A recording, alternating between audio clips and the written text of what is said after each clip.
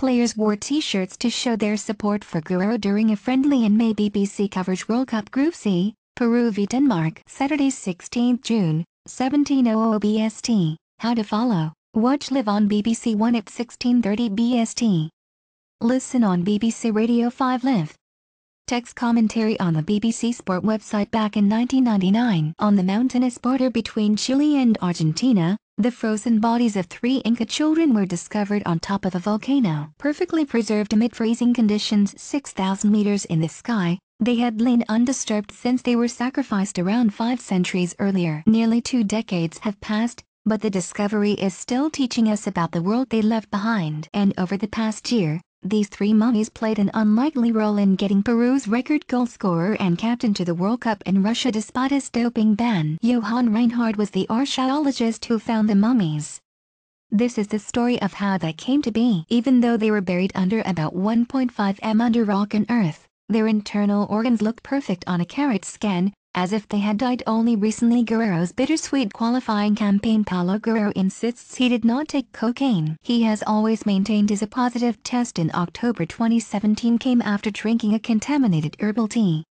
In Peru coca leaves are often consumed socially. Most often now they are infused in water, a more convenient take on the 8,000-old tradition of cramming a wad of leaves in your mouth and chewing for hours on end. In much of South America, the consumption of coca leaf in its raw form is completely legal, it's even said to help combat altitude sickness. A mild stimulant, its effects have been compared to a cup of strong coffee or tea. It is a world away from the infamous white powder that is the product of a chemical process. Despite that, one cup might be enough for you to fail a drugs test. It happened to Guerrero after two crucial World Cup qualification matches in October last year, a 0-0 draw in Argentina and a 1-1 draw with Colombia. Those results left Peru with a big chance of reaching their first final since 1982. All they had to do was beat New Zealand in a two-legged tie. But they were about to lose their key player. Guerrero told FIFA he had been given two herbal teas to drink while on international duty because he was suffering from flu. He explained he was given an anise tea, and a black tea with lemon and honey, maybe there had been a mix-up and he was given coca instead?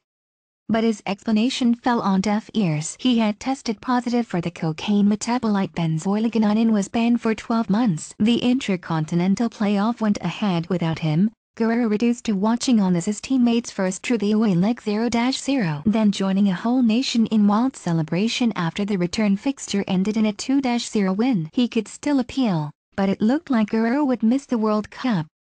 But it was bittersweet. Guerrero has represented Peru 88 times, scoring a record 34 goals so where do the mummies come in? As part of Guerrero's appeal at a FIFA hearing in December, his lawyers turned to a leading Brazilian biochemist, Elsie Cameron from the Federal University of the state of Rio de Janeiro. He testified that the concentration of benzoyl in Guerrero's urine was consistent with somebody who had drunk coca leaf tea, rather than somebody who had taken cocaine. And he also brought in another key contributor, Charles Stanish, an American archaeologist from the Institute for Advanced Studies, University of South Florida. Stanish, an expert in Inca culture, told the hearing about the coca leaf's special place and popularity in Peru. How it would be quite possible for one herbal infusion to become contaminated by another.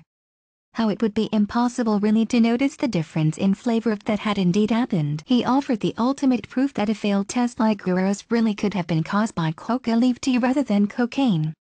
But the best was yet to come, and he did it using the frozen Inca children found at the top of Volcan Llullaillaco 18 years earlier. In 2013, forensic analysis of the mummy's hair showed up a positive test for benzoyl the substance found in Guerrero's urine. The highest point of Llullaillaco, on the border between Argentina and Chile, is 6,723 and the message was simple, how could cocaine account for that? Given that their bodies were left on the volcano approximately four centuries before the substance was first produced by German chemist Albert Niemann in 1859? It may not have been the decisive moment that swung the case in Guerrero's favor, but the player's lawyers say it certainly helped. Either way, the ban was reduced, down from the one-year minimum to half that. Except it wasn't. It was victory. He would make the World Cup in April, with Guerrero preparing to return from a six-month ban backdated to November. The World Anti-Doping Agency, WADA, appealed to the Court of Arbitration for Sport, CAS. WADA insisted that, despite what FIFA ruled, Guerrero must serve the punishment its code specifies for any failed test for benzoyl a 1 to 2 year suspension. Guerrero's lawyers filed a counter-appeal, arguing that the ban should be abolished altogether. But in May, with the World Cup one month away, CAS ruled in WADA's favor, Guerrero's ban was now up to 14 months. Media playback is not supported on this device footage shows the macabre discovery, as the BBC's Rebecca Morelle explains that was the cue for three World Cup captains, Hugo Lloris of France, Australia's Mile Jedinak and Denmark's Simon Kjær, to write an open letter calling on FIFA to temporarily lift the suspension and allow the Flamengo forward to play in Russia. But regardless of whether it wanted to let Guerrero play or not, FIFA no longer had the ultimate say. However, there was still one final twist to come. Amid a growing protest movement that saw thousands gather in Peru's national stadium in Lima, Guerrero continued to argue his innocence, this time at the Swiss Federal Tribunal. The mummies had their third day in court on May 31st, Two weeks before the World Cup's opening night, the Swiss Federal Tribunal agreed to temporarily lift the 14-month suspension for the duration of the tournament while it considers Guerrero's case in full. He was cleared to play. CAS released a statement saying they would not oppose the move. So, when Peru line up to play Denmark at 17 o'clock BST in Saransk on Saturday, their talisman striker Guerrero, whose surname means warrior in Spanish, will be the man who leads them out after all. It has been quite the battle to get there.